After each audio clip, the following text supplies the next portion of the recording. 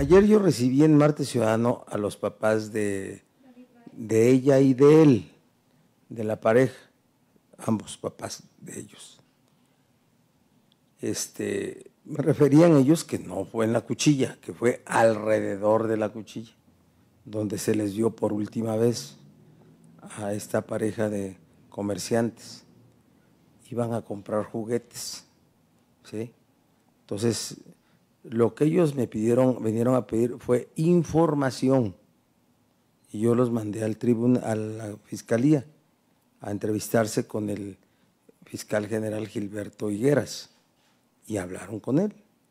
Pero parece que no salieron satisfechos. Yo no sé si lo que pensaban es que ahí los iban a presentar a los muchachos desaparecidos, que les, les, les digo que mantengan la fe de que estén vivos, están muy complicadas las cosas, ¿sí?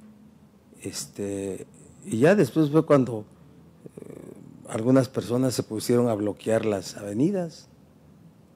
Así no van a conseguir nada. La autoridad va a cumplir con su encargo legal y vamos a encontrar a los responsables si es que hay la comisión de un delito este, en agravio de las personas que hoy no aparecen. Esa es nuestra obligación. Pero por favor, ya que la gente no sienta que tapando una calle, ¿sí?